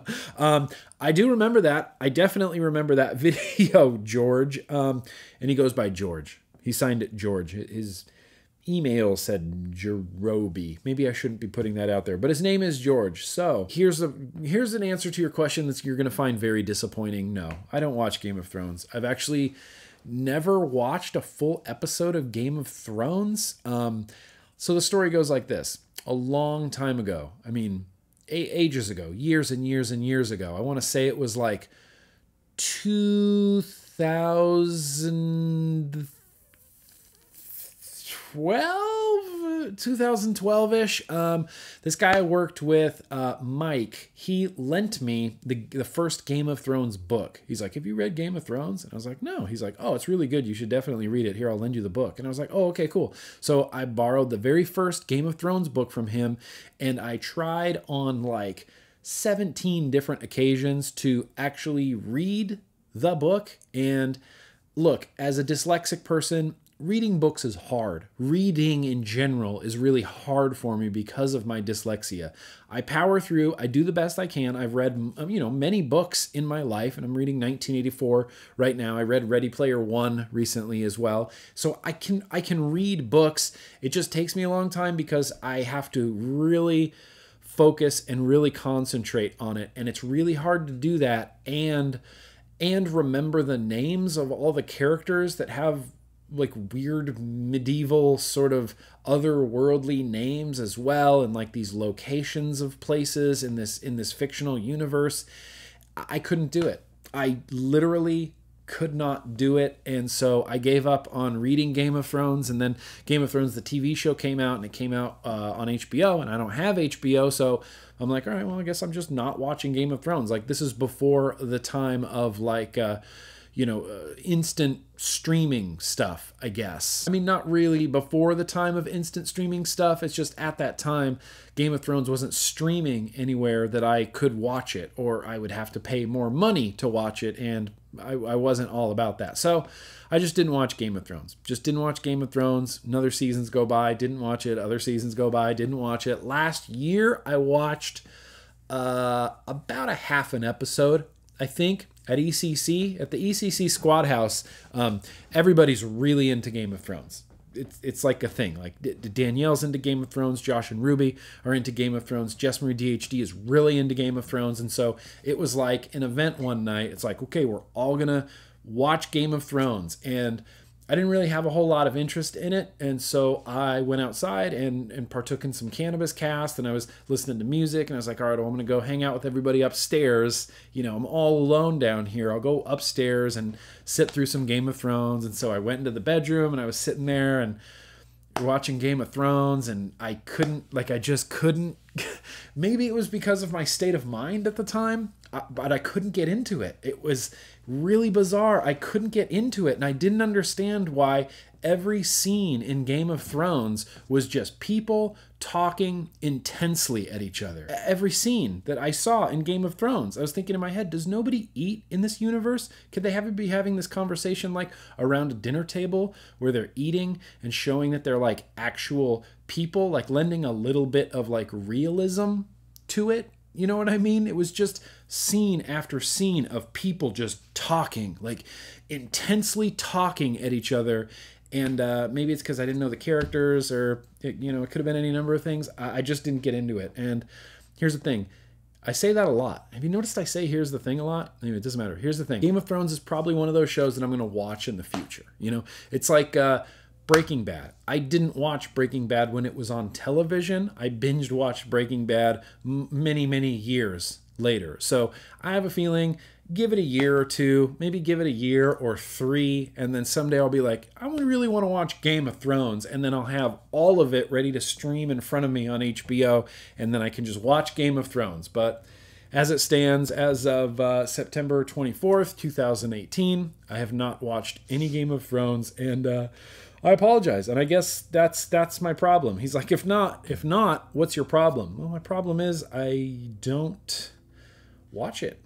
I guess that's my only problem in life, isn't it? Anyway, uh, thank you so much for writing it. Brady, got a last last viewer mail here from Brady. Brady writes in and says, Hey man, my name is Brady. I was hoping to get your opinion on that Blade of God mods in Russia. Is it worth it? Anything detrimentally bad about it? General pros and cons. Thanks for any help you can give. Vapowacer and good day. Brady, let me go grab it. Uh... Okay, well, okay, uh, the hermetic might work on here. My dripper hermetic. Did I pull the build out of there? I definitely did, didn't I? Damn it. All right, so I, I don't have an atomizer to show you this particular mod, but this is the Blade of God. I think it's called Blade of God by God's Mod out of Russia, and it's a good mech mod. If you're considering purchasing this mech mod, just purchase it. The only downside that I've noticed so far is that it can only use an 18650 battery, which don't get me wrong, 18650 batteries in mech mods are fine. They work great and they've been tried and true. Like I've used 18650s in mech mods longer than I've used 2700s or 21700s or anything like that. So 18650s, you're limited a little bit in your amps and how, how low you can build, but I'm assuming if you're looking into a mech mod, you're already kind of well aware of the battery amp limits and, and things like this. It works on an 18650. It's freaking phenomenal. It's I could do a review for it right now. Ready? Here's my review of the Blade of God by God Mods. It's fucking awesome. It is contoured, fits in your hand real well. It's a five red, uh, what? Hybrid 510 on top, and then you have this switch. And this switch is spring loaded on one side, and then it has a band of aluminum along the bottom. And all that happens, God, I wish I had an atomizer. Oh, I don't have an atomizer to put on here and it's making me insane. Let's put the Reload Vapor RTA on there. It's got a nice protruding 510 pin and is 24 millimeters around, so it should fit perfect, perfect on this God mod. Or the I, I kept calling it the God mod, but I think it's called the Blade of God, as Brady had pointed out. So here you go. Boom. I got this on top. You put a single 18650 on the inside, and then you put your switch assembly in there. And this is made out of resin, and it is machined or lathed so perfectly that it just it fits in there perfect. It's like a perfect fit right? It just slides in there like a glove. And then you have the ring on here that is your, you know, the base of your mech mod. You screw this all together, that's literally it. There's nothing to adjust. If I hit the button, you'll see vapors come out of the tank.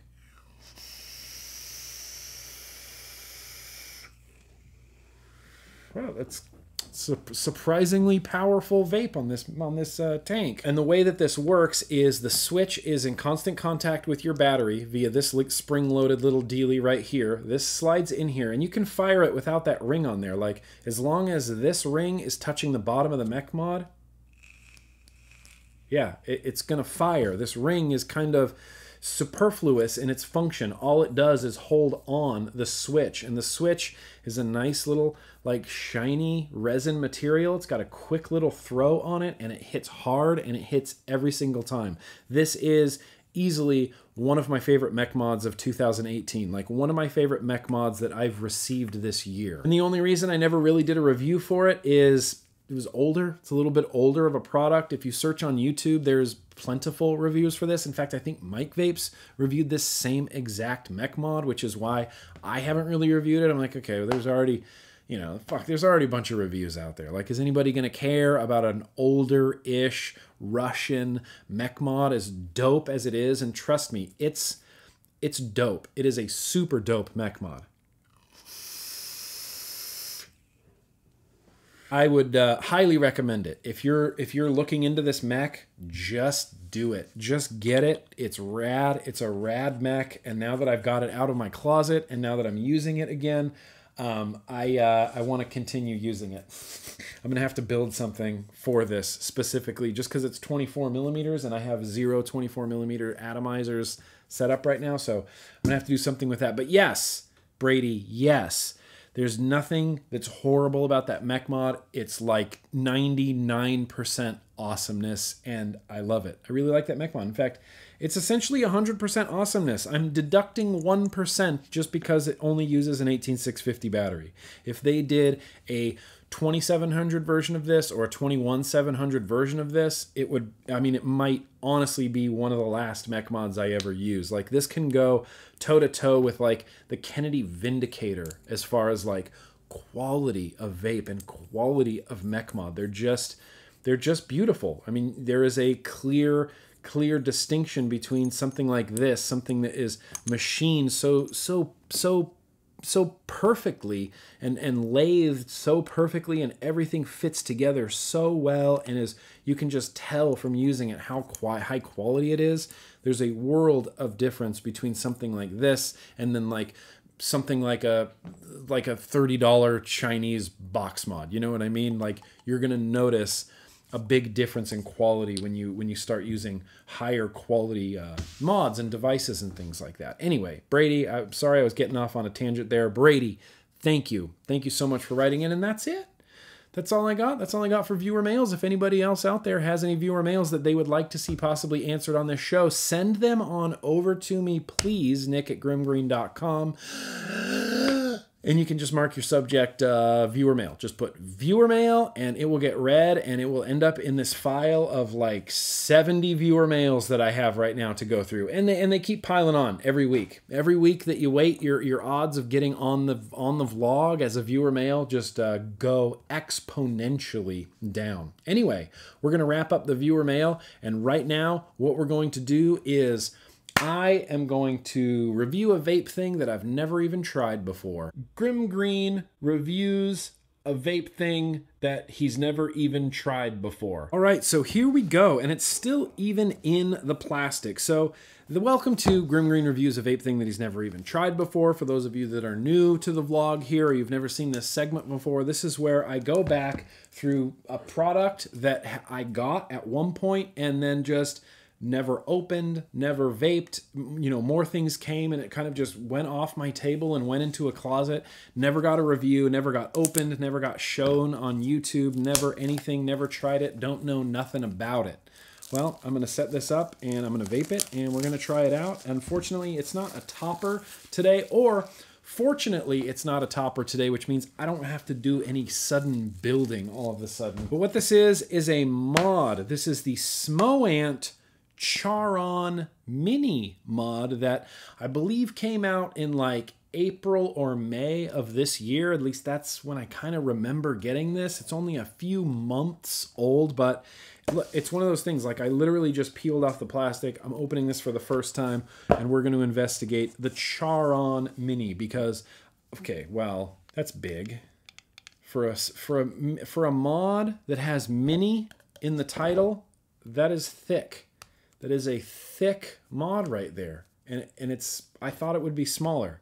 With a name like Mini, I was expecting something much, much smaller. I mean, even from the outside, it kind of looks like it's like a short little guy, but this is not a short little guy. This is kind of a big, big little guy here. But it looks like it has a raised 24 millimeter 510 connection on there. I'm not really sure. We'll have to put a tank on this or something.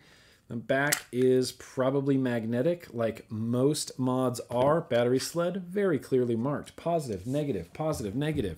Let's get some uh, let's get some old batteries out here and put some batteries in this thing. So positive side up, positive side down. I'm assuming this has one of those like, yeah, it's got a really cool display, real, real super crisp looking display. It feels real real real techy looks real nice. Is that a screensaver? Oh that's their clock screensaver. It's like a it's like a steampunky like gears looking screensaver. Um i do like this display. I don't like the animated gears in the corner. To me that really can you see these animated gears? See those gears just whirring away in the corner right there? I find that, uh, I think that takes away from the overall aesthetic of this mod. Oh, yeah, and then there's that, uh, there's that weird exposed clock screensaver. All right, so we are gonna put this uh, Vaporesso SKRR tank on here, which Boom. Yeah, it works on there. Fits on there real nice. The bottom of the SKRR tank is 24 millimeters. I definitely 100% prefer the Vaporesso clock.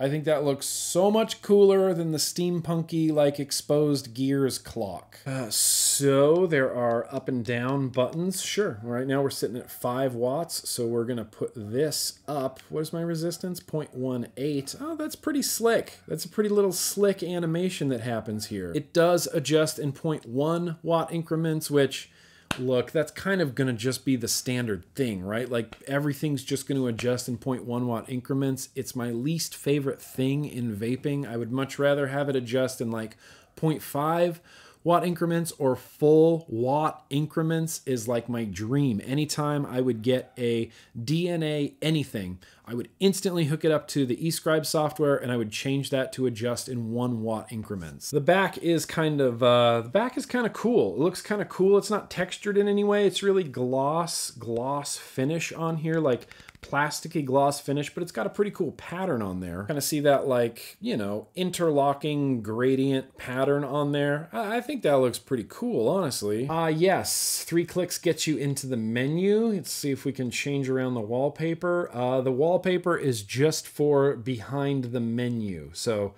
that's it. I'm gonna set, uh, looks like a city back there, yeah. And that's it. You got variable wattage mode, you got temperature control mode, and you got settings where I'm assuming you can, yeah, change the brightness, change the display, change the screensaver, change the time. What style too? Or you can have it do the time or the wallpaper. Well, fuck, we're setting it as an eagle. You kind of just give it a long press, and yeah, okay, now this display, uh, so I switched the display to the wallpaper display. No more animated gears in the background or anything like that. It's just a picture of a city. It says Smoant, says 60 watts. Boom, done. I like that so much better. All right, well, let's give this SKRR tank a try at 60 watts on the Smoant Charon Mini Go.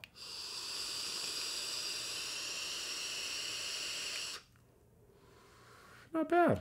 Not bad at all. It's tasting pretty good, feeling pretty good. So I like the feel of this. I wish it wasn't so fat this way. I wish it was just just a little bit skinnier, I guess, right there. Feels kind of bulky in the hand, and I'm definitely gonna have to change when that screensaver comes on. Why did five clicks turn it off? And five clicks before got me to the menu. Oh, four. Four clicks gets you to the menu. Four clicks. All right, we're gonna change the wallpaper from the city now because I don't like that. They only give you six wallpapers, nine wallpapers to choose from. So let's go with, let's do like the space thing. Space thing. Space thing? Yeah, space thing. That looks much better. And you can change when that screensaver comes on. You can change the timeout, but for some reason it does it in seconds only, which I don't know. That's weird. Why would you want to be able? It's like, well, one minute and 57 seconds, I think, is too soon, but one minute and 58 seconds is much better. Why even have that option? Why not just do it in minutes or 30 seconds at a time? We don't need this like fine detail of like, oh, I want to have my screensaver timeout at two minutes and 31 seconds exactly. It's going to make such a big difference. And on the wallpaper clock, uh, it doesn't even show you the clock. The screensaver just pops up and it's just a picture of a big eagle. It would be nice if the time was there instead of just a just a picture of an eagle. It's good. It's a pretty banging little device. It feels pretty responsive. I mean, I can't click the button without hearing some sizzle. There's no way to click the button and not hear the sizzle. So I feel like that's pretty responsive button. It's one of those buttons that uh, is clicky kind of everywhere, which is a nice change. I thought it was one of those like hingy ones. Like a lot of mods have that like hingy button, but this one, you can press it down at the bottom and it will still fire. No. Wow. Okay, never mind. I take back everything I just said. Click it at the bottom and nothing happens. Well, I mean, it seems to be quick. It seems to be pretty quick and responsive. I do actually really like this display. It's a nice big display. I feel like the other one with the gear or with the gears and like the revving, like that, that's, that's fine and good, but I like something a little bit more simple. With that said, this might be too simple. I feel like there's just a lot of wasted space on this particular screen. Like if the screen went down longer and you could actually like put your own pictures to be there for wallpapers instead of choosing like a duck and a dog and an eagle and a soccer ball and space. Like some other options, like if I could throw fucking Grimm Green logo on there, like Recoil RDA logo on there, that would be super sick as well. As it stands, I don't think you can do that. Here's the thing all around, this is a pretty rad little device. I kind of like it. I kind of like holding it. I kind of really like that button, but you do have to hit it at the top. I like that it's 24 millimeters. This tank fits on there fine. I like these clicky adjustment up and down buttons. I like the display. I don't like how thick it is. I feel like for a mod called Mini, Charon Mini, that this is just too big. I think this could have just been called the Charon V2 or the Charon 1.5 or name it something completely else. Get away from the Charon brand. It doesn't really fit into it eh, other than the fact that it's named similarly, I guess.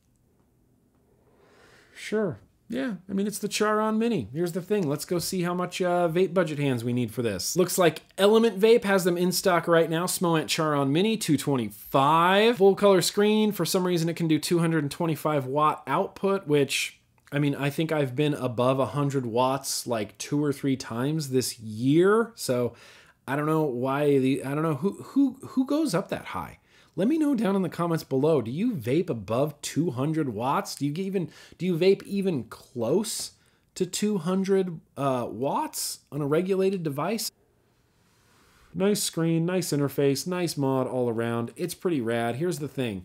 It's fine. It's a fine mod. The Smoant Charon Mini is a is a perfectly fine and serviceable mod. It will do whatever you need it to do. It's just real boxy and I don't know, boxy and thick and you know, it's not like there's a crazy amount of innovation here. It's a box that holds two batteries and has a display. Like, welcome to vaping. That's, I mean, we've been vaping on that for years, years and years and years, right? Vape budget hands, eh, it's around 55 bucks. Eh, so, I mean, you know, they're not giving them away, but it's also going to take a little bit of vape budget hands, I guess, to get there. 50, 55 bucks. Yeah, that's something, I mean, that's something you would have to make a conscious decision. Like, all right, I'm going to spend $55 on this Smoant Charon Mini. If you do, you're going to get a pretty decent little mod here. Just a pretty decent little mod all around. Now, I mean, if we're going to play the Aliens game, which is something I do in my normal reviews, or the FDA game where they come and take everything I have and I have nothing left to vape,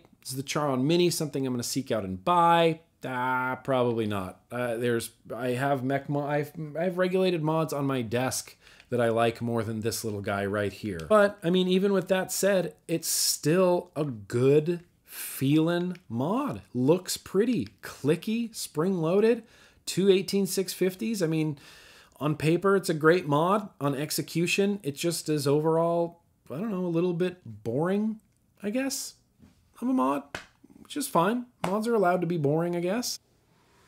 It's nothing really special, nothing to write home about, but it's a very it's a, see that's the problem. It's this the problem with this is that there is with a lot of stuff out there today. It's just fine. It's a it's a fine device.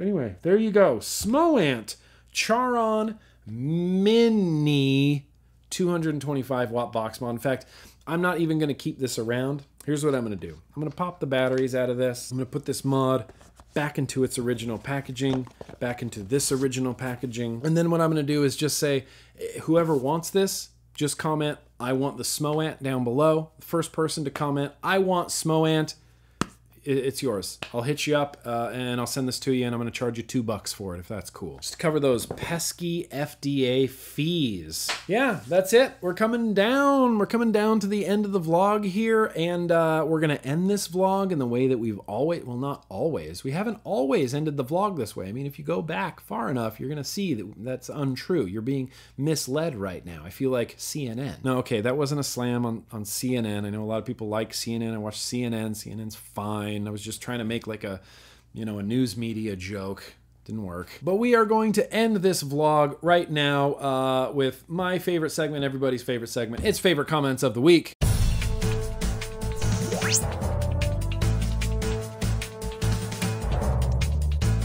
So before we jump into my favorite comments of the week, I do have to give a shout out to Mr. Nico from Finland, who always helps me capture some favorite comments of the week that I might otherwise miss on my videos. Um, I really do my best to get down into those comments every single day, read, respond, screen capture. It's all it's all a big process. It's part of my workflow. I have it on my schedule. It's like YouTube comment time. I, I feel like I have a burp coming, but I can't get it out, and I know it's just going to come out like at the most inopportune time, like just right in the middle of a sentence. But hey, doesn't matter. First favorite comment of the week here from Vapor Geral. A Brazilian vapor lives in a nightmare. We cannot import. Our black market works at high prices. E cigs is illegal here. Tobacco products is not illegal. Shocking shocking that tobacco products are not illegal, yet they're going after vaping, this intrusive, disruptive to tobacco industry.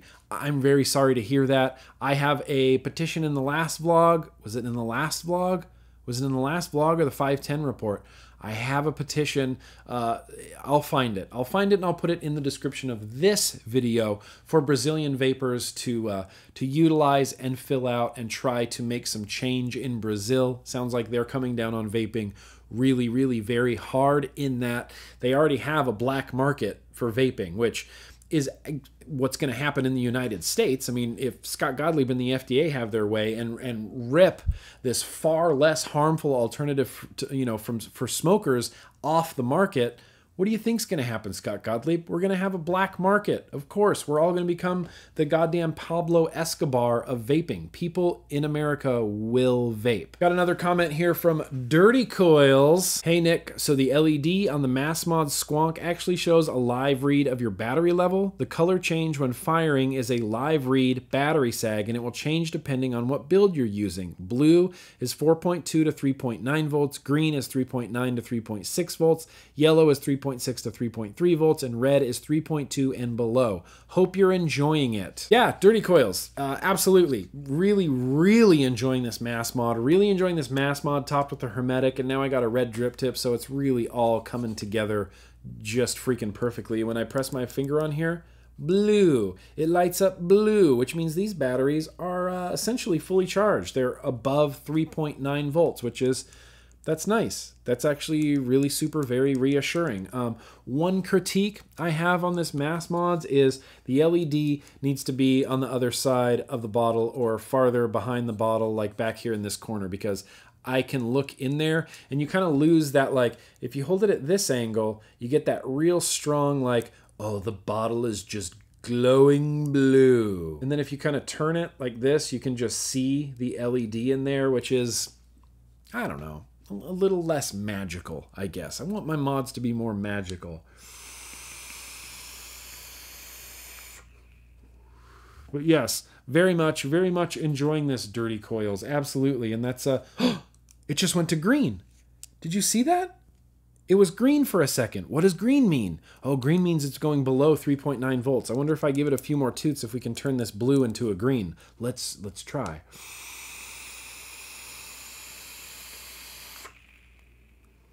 Not yet.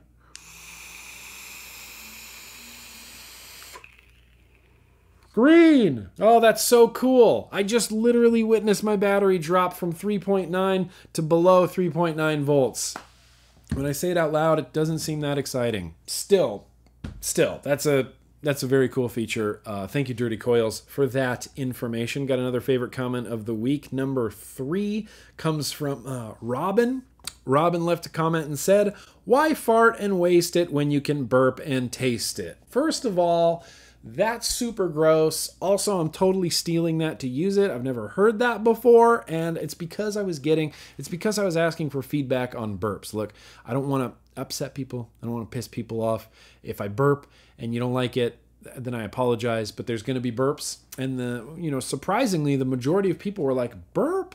Yeah, burp. Go to your burp party. Have a burp party. Just burp like crazy, which is good because beer segment. I mean, there's just always going to be burps in there. Got another favorite comment of the week from Husky Doggo. And I don't know what video he was talking about. I don't know what video this was left on, but he said the shape makes me want to get a haircut. And I just what? I don't understand what that means, dude. Don't understand what that means. The shape makes me want to get a haircut. Honestly, though, uh, Husky Doggo, I would like to steal that. I'm going to start using that at, at other opportune times that don't make any sense. And I'm not, I'm going to use it for everything. Any, anytime anyone asks me my opinion, they're going to be like, what do you think of this t-shirt? I'm going to be like, well, the color of it kind of makes me want to get a haircut. I think that's hilarious. I think that's really funny. Anyway, uh, one more comment of the week here. Oh, Eric. Eric W., often frequent commenter, frequent comment of the week. Uh, prize winner, even though there's no prize. Uh, Eric Eric W left a comment and said, lol, please say minimal again. And it's because I say it in that weird way. Whenever I grab the juice out, and I have to grab the juice out to say it, minimal.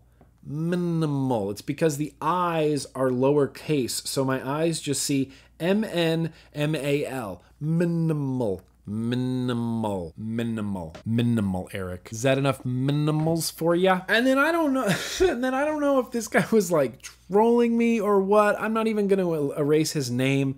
Uh, midnight dreary left this comment. Maybe you might not try to remove the chop top drip tip and drop the chop top drip tip if you weren't off your fucking bin on good quality sniff you big-headed smug bastard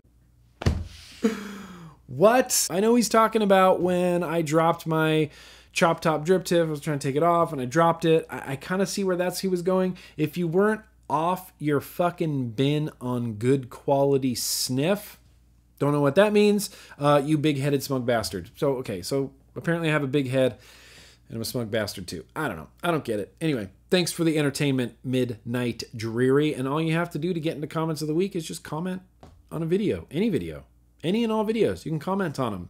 I will see it, or Nico will see it, and y- you might end up here in the uh, in the comments of the week. Just don't try too hard. Like, there's people out there that just they really try to get into comments of the week. They'll write something real weird, real outlandish, where it's like, okay, you're clearly like you're definitely trying to get my attention. I much prefer like just little witty witty things, witty, funny, witty, funny comments, things like that. Just don't try too hard. I mean, that's like a general rule in life. Just don't try too hard. Like, don't try so hard. Don't try too hard. Anyway, anyway, holy crap. Hang on. Are we done? Is this the end of the vlog? Let me take a quick look around the room and make sure I didn't forget anything. No. I don't know what sound that was. No, no, no. I think we're all Good. Good and burpy. Why fart and taste it when you can burp and taste it? That's not how it goes. Anyway, yeah, that's going to wrap up this vlog. Once again, and I always say this, but everybody that makes it to the end of the vlog, you're literally, literally my favorite people on earth. If I ever have the opportunity to meet you in real life, I do dispense hugs or crisp high fives, or apparently there is a third option now, which is a very manly handshake. I've yet to do that one. Anyway, um, I did want to mention that I use old fidget spinners as uh, atomizer stands. So go through all of your old fidget spinners and you can use them as atomizer stands. That's my pro tip of the week. Anyway, seriously, enough rambling from me. That was the vlog. Thank you so much for watching. I'm going to grab this my mass mods and my hermetic just because it's real close to me. I'm gonna vape my face off and I'm gonna edit some freaking video. But that's what I got for today, everybody. Thank you once again so much for joining me. And as always, let's all say it together. Let's keep on vaping. All right, who said it with me?